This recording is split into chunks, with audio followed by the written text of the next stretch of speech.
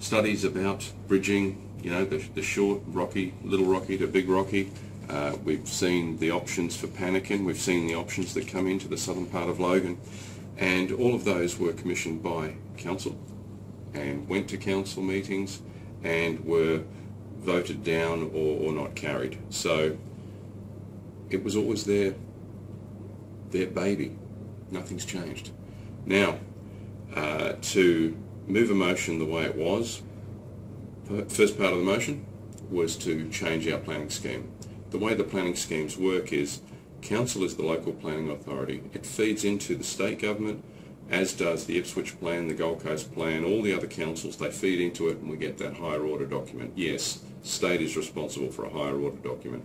The South East Queensland Infrastructure Planning Program is the higher order document, but it's fueled by Redlands, by Gold Coast, by Logan, by Ipswich.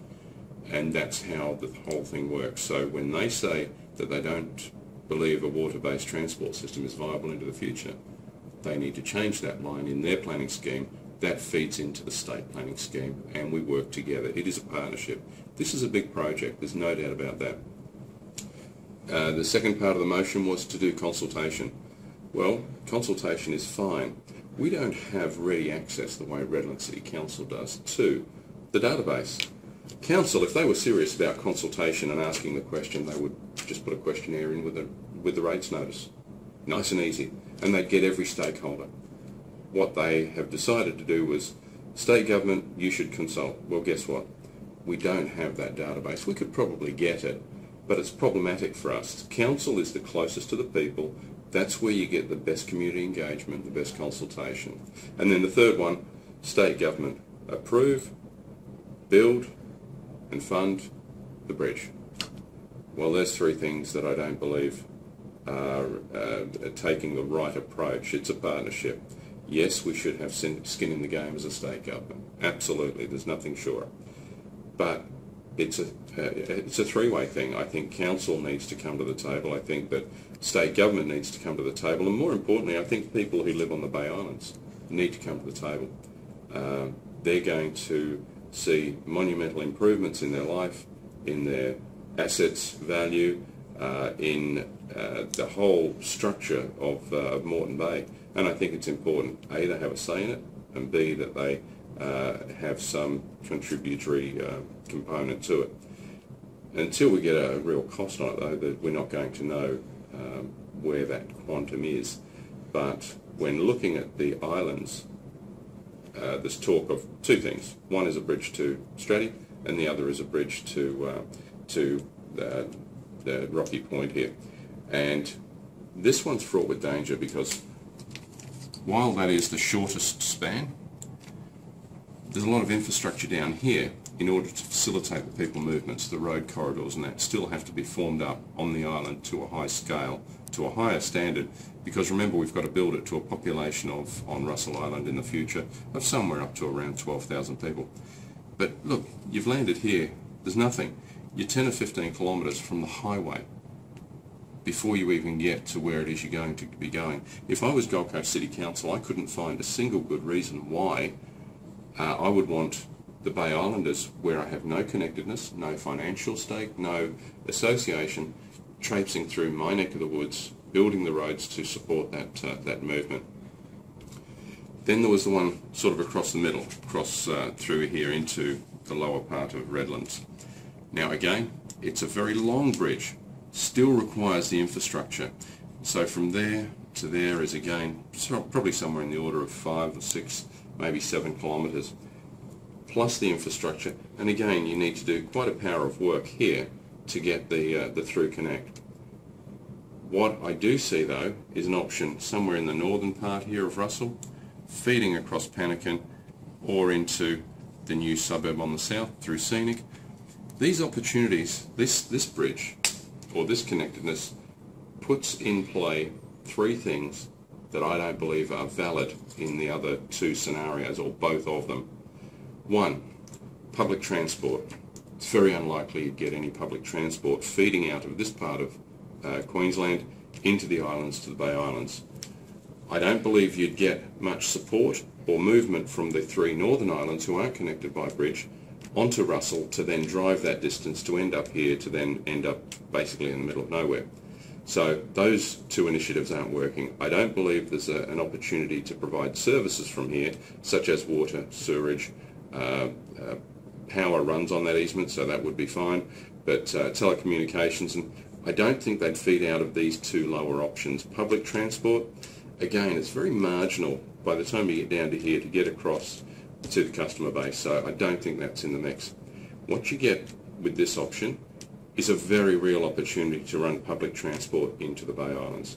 You get a very real opportunity to elevate the water supply that comes out of Stradbroke across to the mainland on almost that alignment, so you get the opportunity to bring that up out of the water.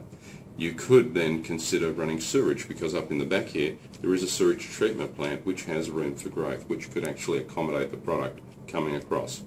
So for all of those reasons, that's why I think this northern option is by far the best option. And the one other option that I think is is probably even more significant is when you look at the barge journey from Macleay into uh, Redland Bay. It's $100. It's approximately uh, uh, an hour, I suppose. By the time it's all said and done, you lose about an hour out of your life. If the bridge were connected here or here, and again, engineers will have to pick the right location. But what you could do is run your barge straight out of there, straight into uh, that top end of Russell Island. They basically do a U-turn and go straight on the bridge. So you go from barge to road to bridge, and that's one third of the journey. You'd imagine that the cost then and the time efficiencies become more viable. The barge can offer a more frequent service, so Macleay then get some benefits through this bridging process and even just for supply of product into and, and on, on the islands there I think is a, a valid uh, a valid option. I do think there's still merit and I know this motion went to council once before as I mentioned uh, of linking Lamb Island. I don't believe we can't uh, not link it anymore. I think we must link it uh, into the future. So then Lamb Island gets all the benefits that Macleay get through that connectedness and it, it could be a fairly modest one-lane bridge on a, a signalised process as some of the roadworks are. And uh, I think that would serve their needs and provide them a short one-stop on the on the car. So again it brings the vehicle back into play.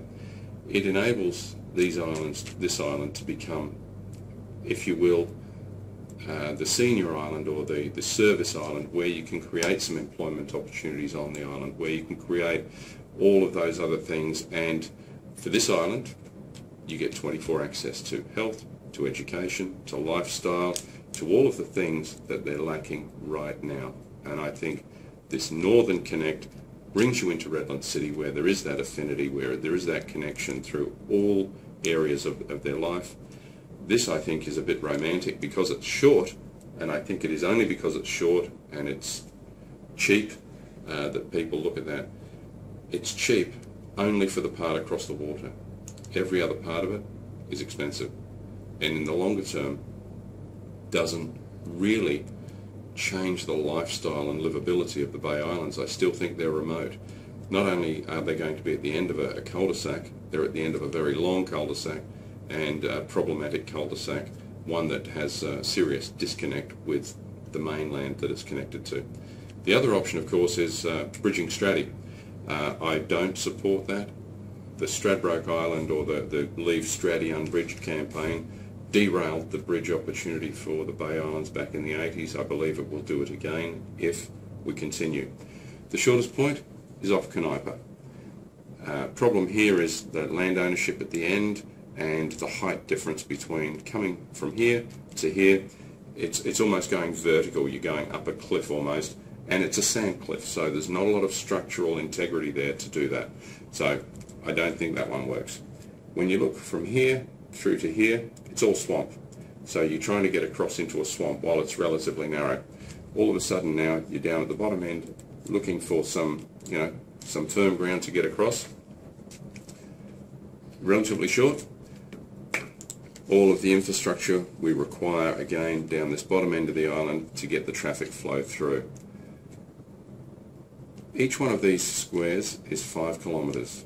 5, 10, 15, 20, 25 kilometres to get to Dunwich. 30, 35, almost 40 kilometres to get to Point Lookout or to Amity. And most of this, while there appear to be roads on the map, they're mine roads.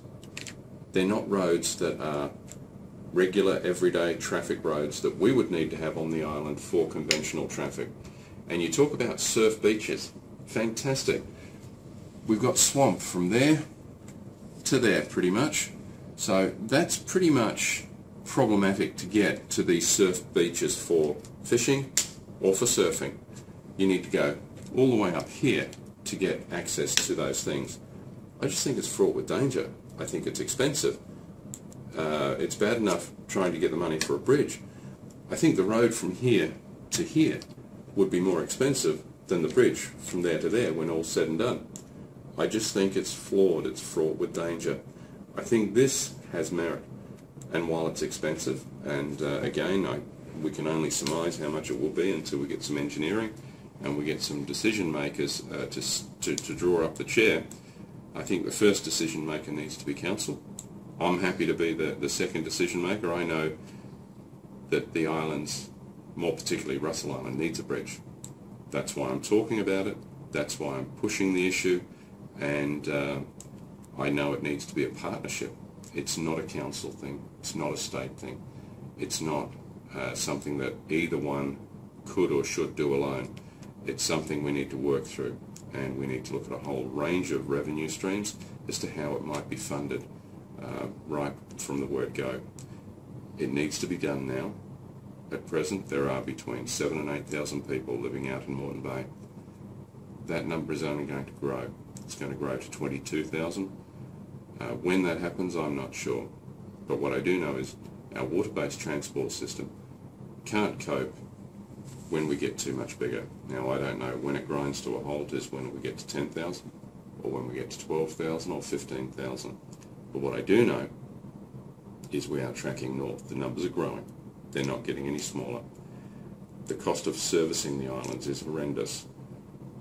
Uh, the Bay Islands, contrary to popular opinion and urban myth, it's not a license to print money. It's not a cash cow. It's a liability. It's a huge liability. Almost everything you do on any of the Bay Islands costs a fortune, and it's a it's a, a, a sum of money that is not uh, borne by or, or triggered by pretty much anywhere else in the city. Parking. Everyone else in the mainland parks the car in their own garage. They take them home. We've got to find parking at each of the ports and we've got to put jetties and terminals at each of the ports. When we pick up a rubbish bin on any one of the islands, and I'm pointing at Russell, but any one of the islands, the cost penalty is horrendous because you've got a truck that pulls up here, sits on the barge for an hour, does a half dozen streets, goes back to the barge, sits on the barge for an hour, and then goes back to the landfill. That's hugely expensive, incredibly inconvenient, not terribly efficient. Those little things are what cost an awful lot of money for council. To do kilometre of road resurfacing on the island will cost you quantum dollars more than it does here because you just drive down with your truck, you grade the road, you lay your bitumen. We've got to ship crews over, we've got to ship uh, uh, product over to do all of that. It's just incredibly expensive to not do the bridge. I don't believe Redlands can afford it. I don't believe the islands can afford it. It's something that must happen. It's something that will happen one day. The only thing that I'm not certain of is not whether there'll be a bridge, because I'm absolutely certain there will be. The only thing I'm not certain of is the day that they cut a ribbon and someone's driving over it.